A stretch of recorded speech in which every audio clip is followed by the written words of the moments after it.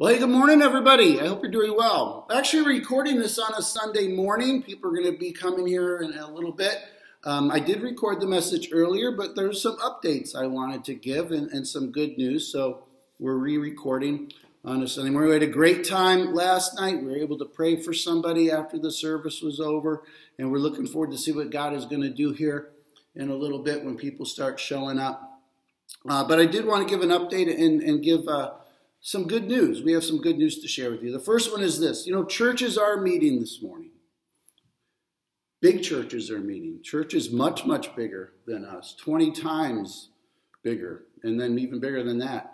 The church that I used to serve at, which has been cautious and careful during COVID, they're having an indoor service this morning. I hope you find that encouraging. I hope you find that to be good news. Uh, so be encouraged by that. The second piece of good news is that we're getting ready to sign a lease for our building for 2021. This place feels so much like home. We, we love this spot so much. Sometimes I forget that we don't own it. We, we are tenants and we rent it. The lease, is, the rent is going up a little bit, maybe more than a little bit, but um, it's still much, much less than the rent we pay at the middle school for all that time and the building just works out great. You know, we have access to it all the time. And so we're so happy that God's allowed us to use the building in 2021. And even though the rent is going up, you have been so generous that uh, it's still very easy for us to manage. In fact, you've been so generous, you need to know this, that since March, since COVID happened, our little church has given away over $10,000 to help people with their rent, to help people with their groceries, we bought a used wash machine for somebody. Um, we've been able to help out different organizations and a different church as well, a partnering church. And um, so, our little church, because of your generosity, we've been able to give $10,000 away. I hope you find that encouraging. Again, just thank you. And the last thing I want to share this morning is an announcement. We're going to have three Christmas Eve services this year.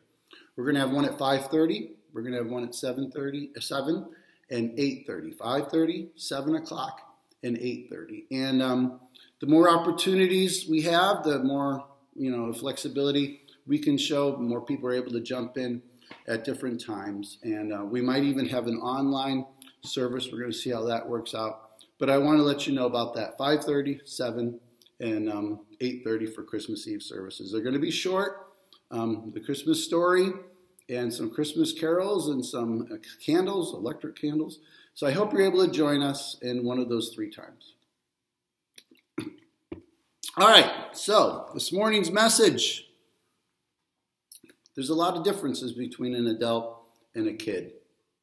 Sometimes those differences are seen at Christmas more than any time else. Kids are all about the presents at Christmas. The P R E S-C-N-T-S, the presents that we can open up on Christmas morning and enjoy. Adults value a different kind of presence. They value the P-R-E-S-E-N-C-E. They value the relationships, the togetherness.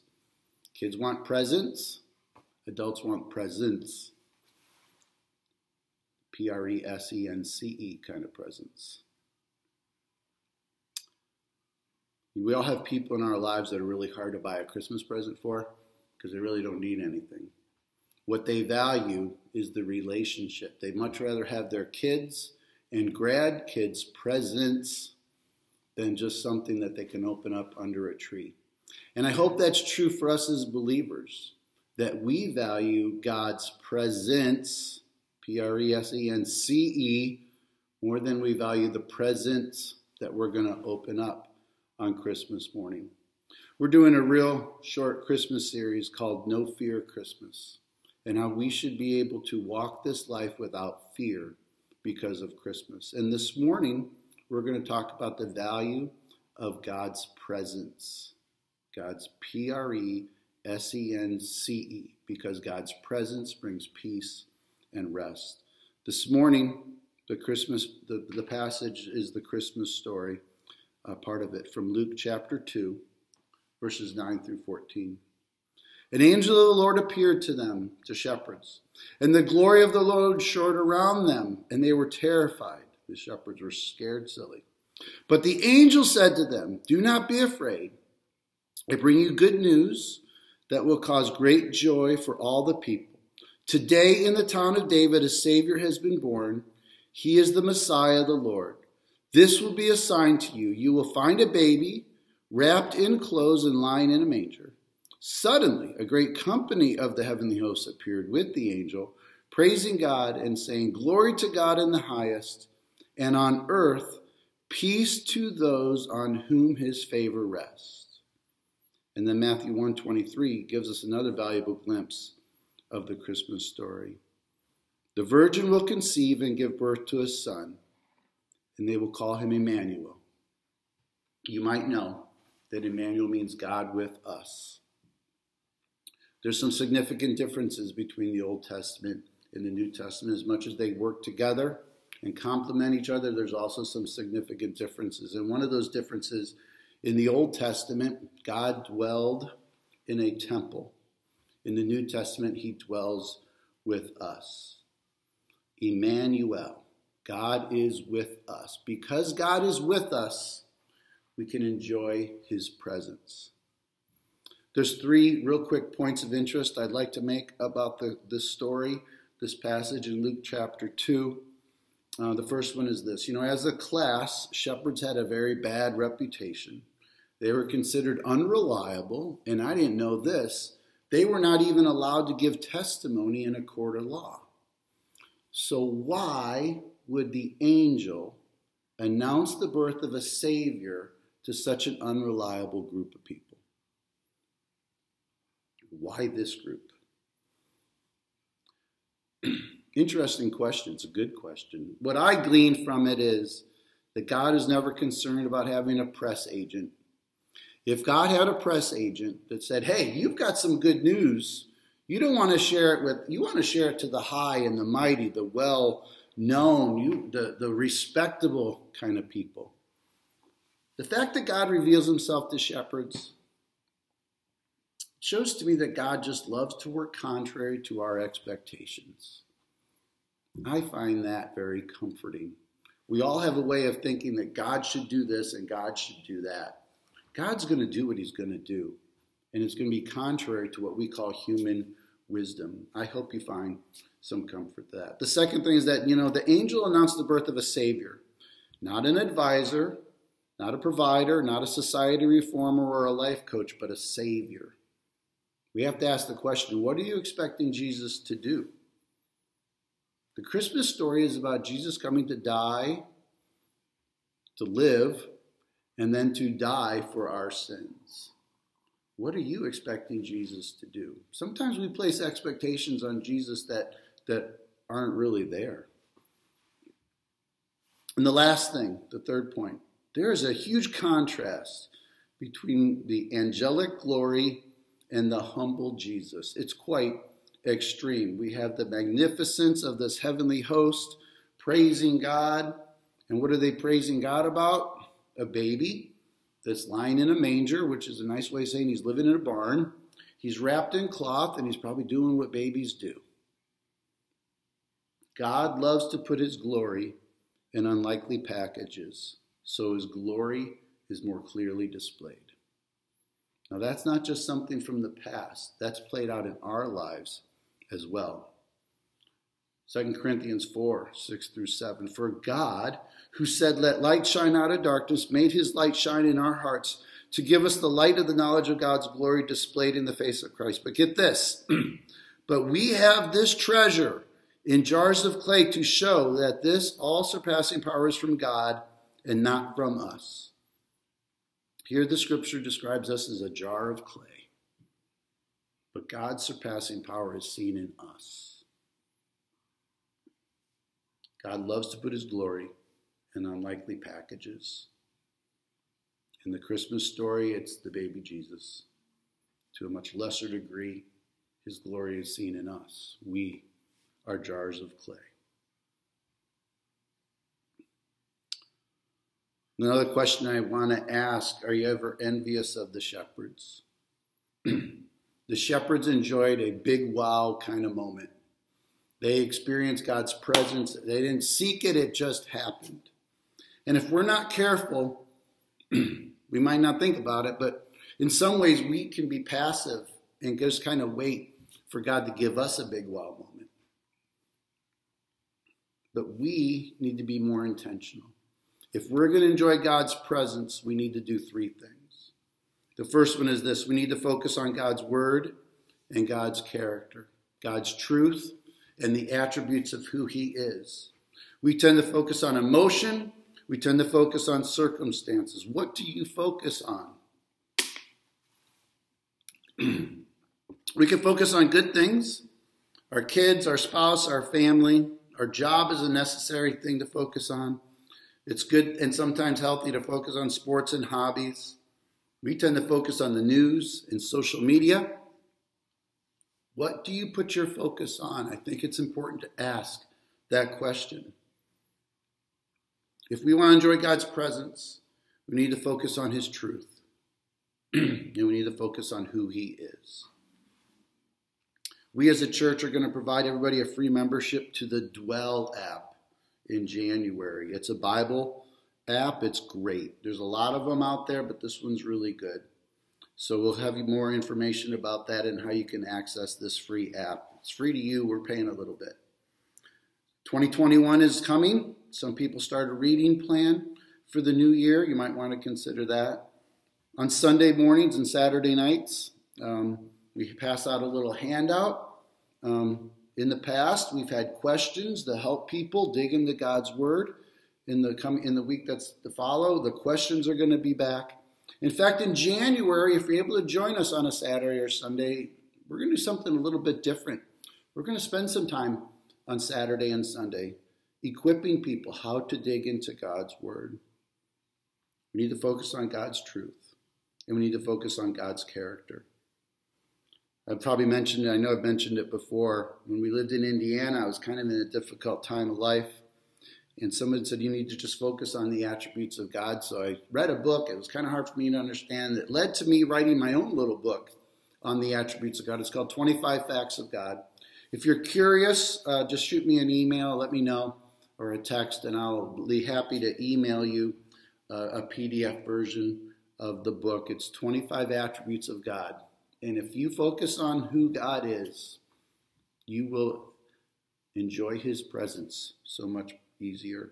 God's word, God's character are the only rocks worthy of building our life on. Everything else truly is a house uh, built on the sand. The second thing we need to do, we need to focus on God's truth, God's word, but we also need to pursue his presence.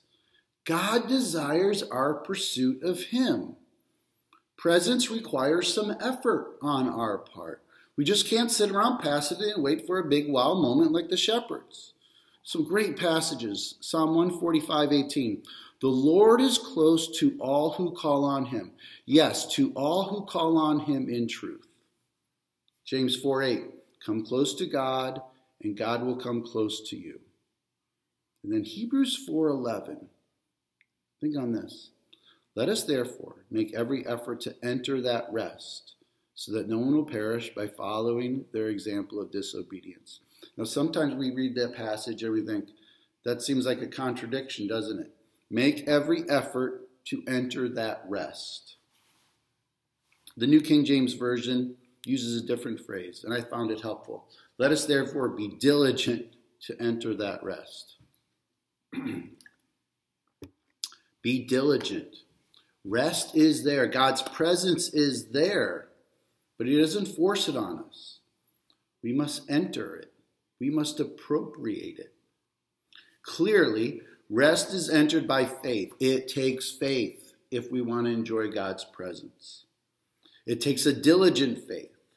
Faith is not passive, it takes diligence to do these three things to trust in, rely on, and cling to Jesus and his work for us. There is some diligence.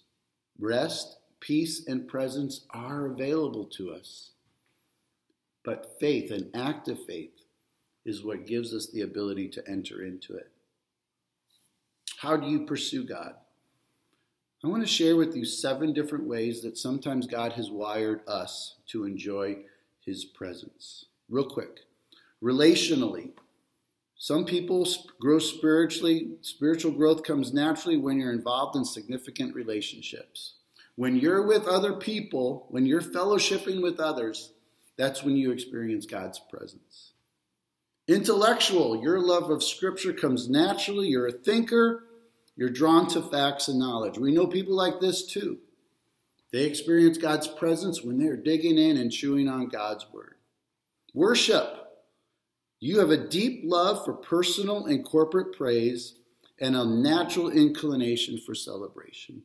There are some people experience God's presence in, in, in a really tangible way when they are worshiping God. There's other ones too. Activist. You have a strong sense of vision and passion to build the church in God's kingdom. Some people feel closest to God. They enjoy his presence when they're actively doing something to grow the kingdom in a significant way. Contemplative, you connect with God through time alone.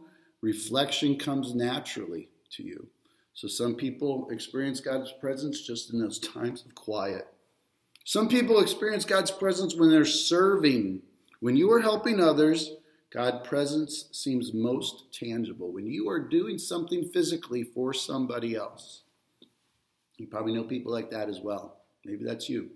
You experience God's presence when you are doing something to serve others. And the last one I wanted to share is creation. You respond deeply to God through nature. Being outdoors replenishes your spirit. The scripture says God reveals himself in his creation. For some folks, being in a deer blind is a really um, religious experience because they enjoy God's presence when they're in nature. So, if we want to enjoy God's presence, we need to focus on God's word, God's character. We need to pursue Him and appropriate the rest that's available. And the last thing we need to do is we may need to eliminate the things that hinder. Hebrews 12, 1 through 2. Therefore, since we are surrounded by such a great cloud of witnesses, let us throw off everything that hinders and the sin that so easily entangles, and let us run with perseverance the race marked out for us, fixing our eyes on Jesus. When we see that passage, it's real easy to focus on that second part the sin that so easily entangles.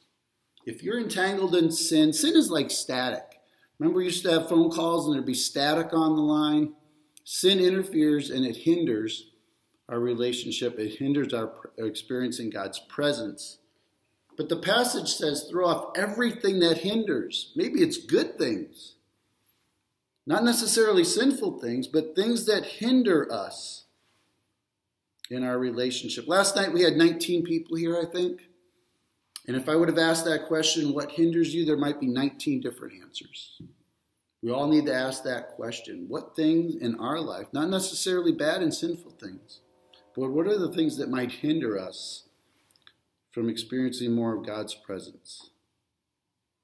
The last thought I want to share with you is that the world looks for peace in the outward things, circumstances. As believers, peace is available because of God. We need to live from the inside out, not the outside in. There was a first century pagan writer his name is Epictetus, I think. E P I C T E T U S. First century pagan writer. He, this is what he had to say. Interesting. While the emperor may give peace from war on land and sea, he is unable to give peace from passion, grief, and envy. He cannot give peace of heart, for which man yearns for more than even outward peace.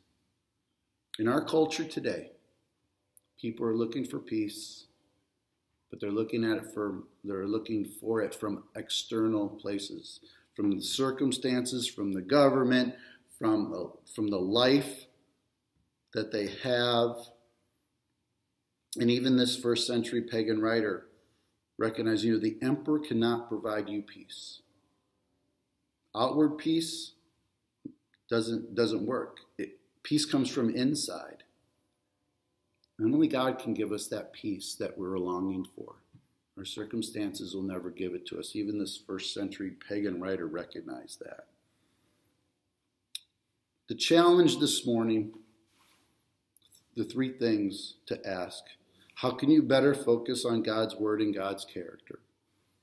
Not just in the coming weeks, but in the coming year.